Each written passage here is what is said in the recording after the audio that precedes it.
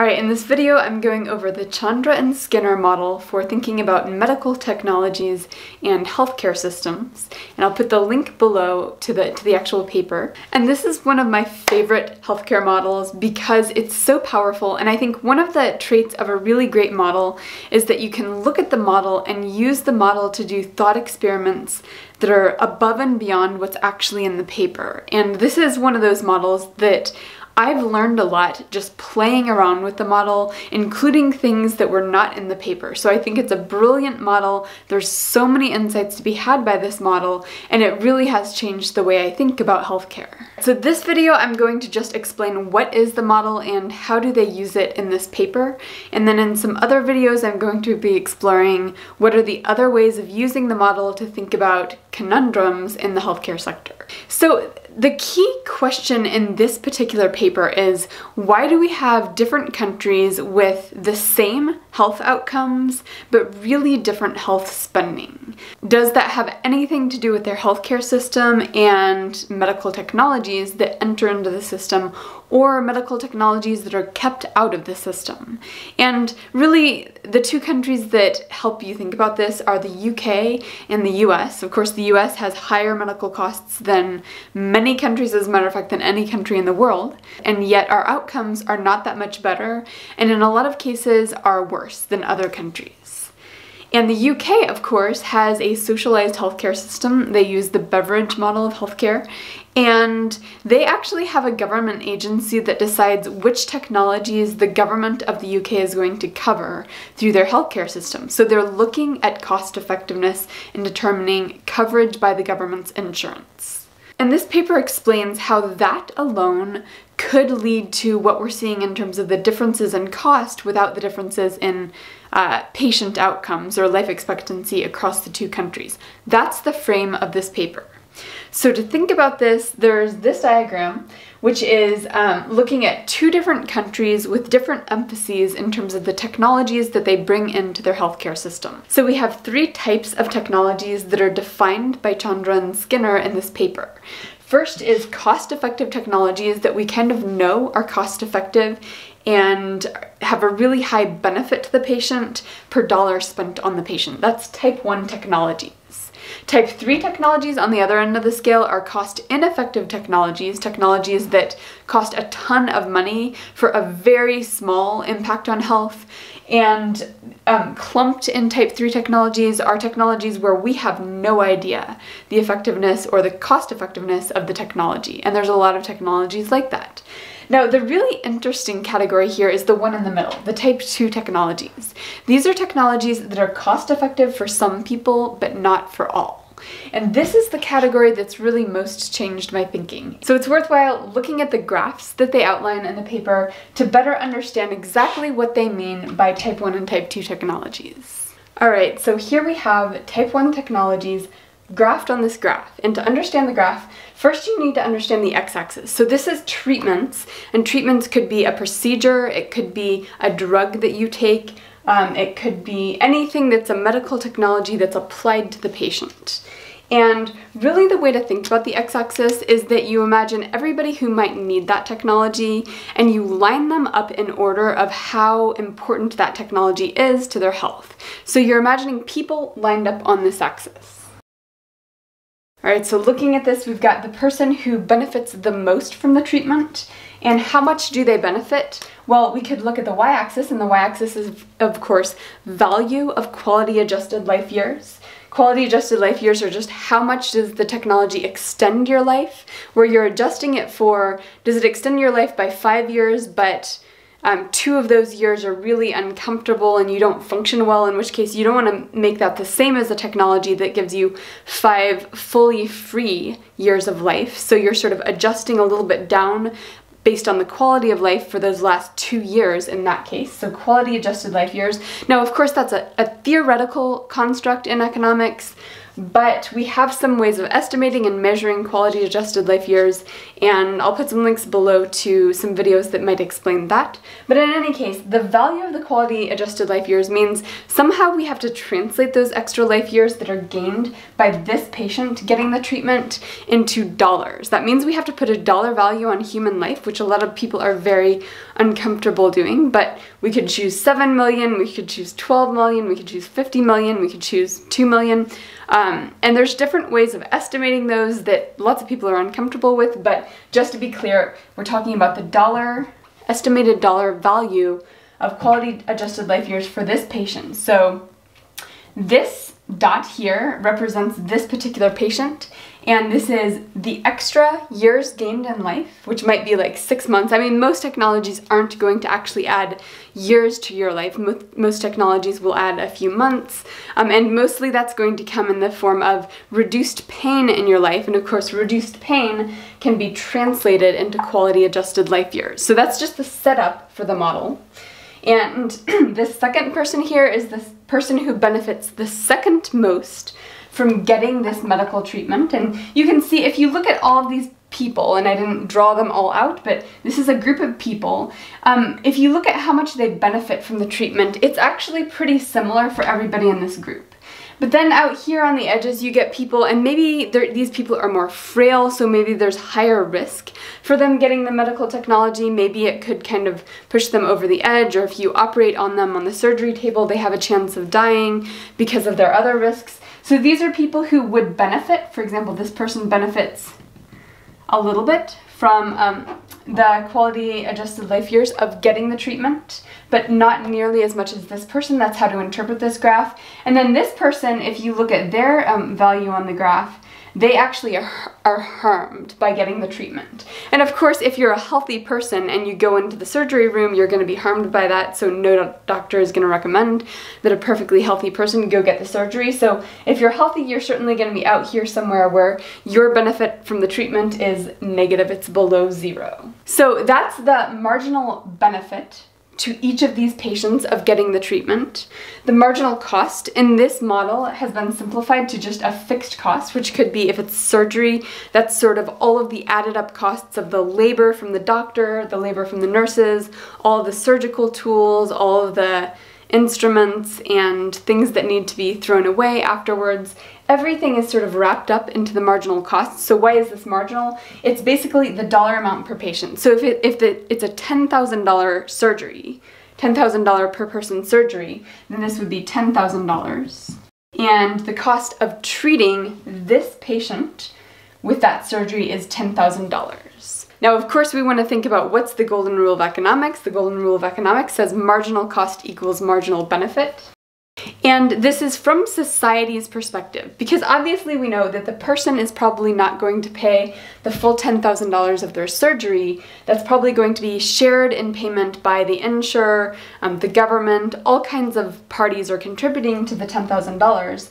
The benefit, of course, is accrued to the particular patient, but this uh, graphic is from a societal standpoint. So from society's standpoint, we definitely want to provide medical treatments to every person whose benefit, whose total benefit in terms of value, value of quality adjusted life years exceeds the cost of the treatment, the $10,000. So from a societal standpoint, if we're using the marginal cost equals marginal benefit rule, here's where marginal cost equals marginal benefit, that tells us that society wants to give all of these people this treatment. Um, now, this person is kind of, this person actually, um, they do benefit from the treatment, but not that much, or certainly not um, a benefit that's equal to the $10,000 that, that society would spend on them. So according to this economic rule, and I'm not saying that's necessarily the right rule to use at all times, um, society would not treat this particular person. And then, of course, nobody wants to treat these people. Doctors don't want to treat these people. Nobody wants to treat someone with a treatment who would be harmed by the treatment, who would have a benefit below zero. So um, this is the societal decision. And this is the doctor's decision. So the doctor is going to recommend surgery for every patient who could benefit from the surgery. So the doctor is going to say, nope, these people don't should not get surgery. They'll be harmed by it. But everyone on this side of that um, marginal benefit greater than zero point is going to be is going to be recommended to have the surgery from the doctor's perspective.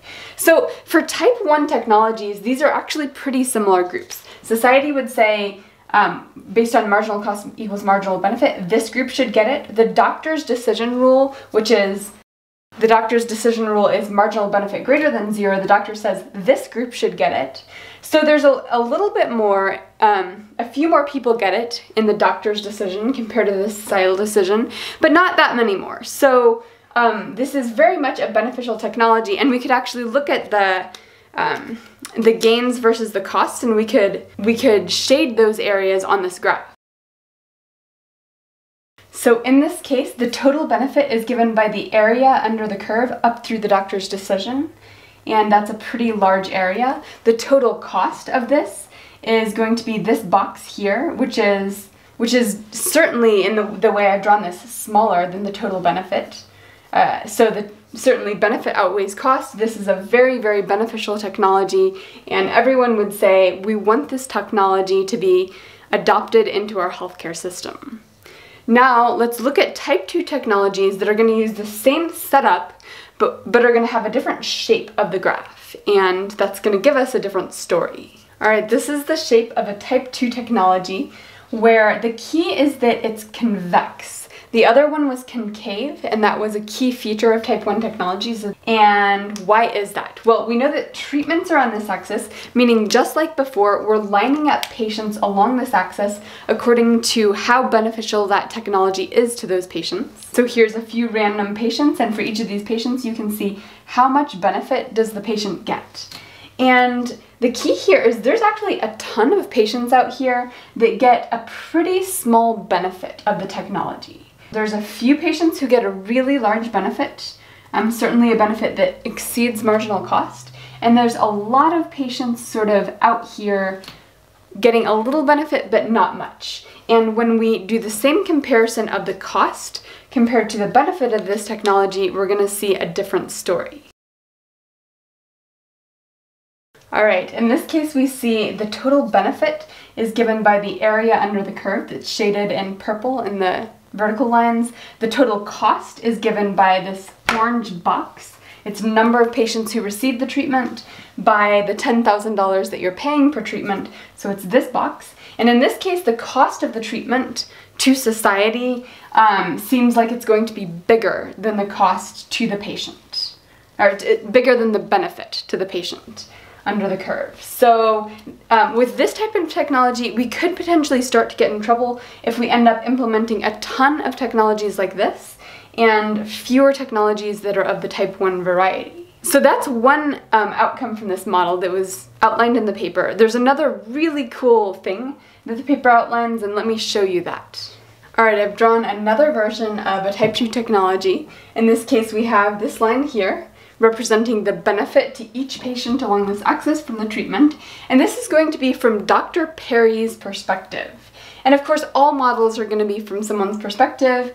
Um, but if we're thinking about the doctor's decision, and the doctor's decision is to treat every patient who has a benefit greater than zero, we know that this is going to be a decision that Dr. Perry makes rather than a decision that all doctors make. So the question is, if doctors have different opinions about the effectiveness of treatments, how is that going to affect this graph? And of course, where do doctors get their opinions? They get them from other doctors, they get them from reading the medical literature, they might get them from talking to drug companies or medical device companies about their new products. There's all ways that doctors come about their belief system about the effectiveness of a treatment. So variation in those beliefs might make a huge difference. As a matter of fact, that's what's going to happen in this model. So what I'm going to draw right now is a different doctor's opinion where the difference in opinion is only very slight, but the difference in behavior and the difference of treatment of patients and the difference especially in costs are going to be really big. Alright, the purple line represents Dr. Pumphrey's opinion about the effectiveness of the treatment. The black line represents Dr. Perry's. And we can see the difference in the number of patients getting the treatment. Here, here is Dr. Pumphrey's number of patients. and here, here is Dr. Perry's.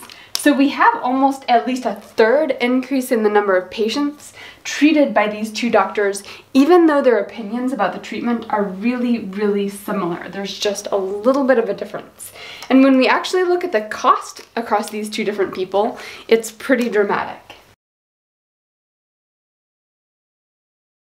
So total spending on Dr. Perry's patients is equal to this box. This is just the price of the treatment times the number of patients getting the treatment.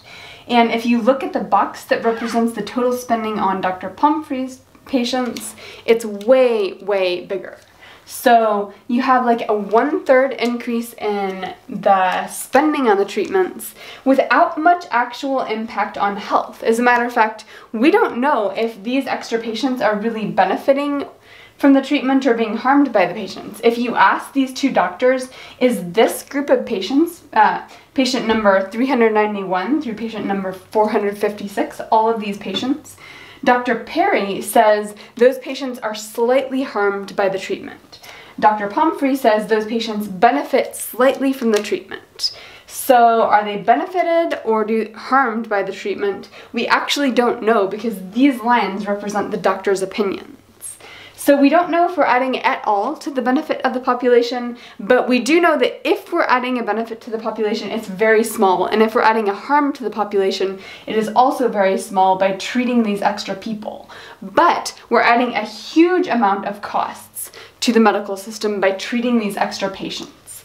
And the basic argument here is that you can get differences across regions because the differences in opinions between doctors Probably a lot of those opinions come from doctors talking to doctors, so you may have regional differences in doctors' viewpoints about how effective certain treatments are, and that could lead to one region having a one third higher spending just because of the slight differences in the doctor's opinions about treatments. So, this is a brilliant argument about one thing that might be going on in healthcare when we think about what technologies get utilized, what technologies get recommended for different patients.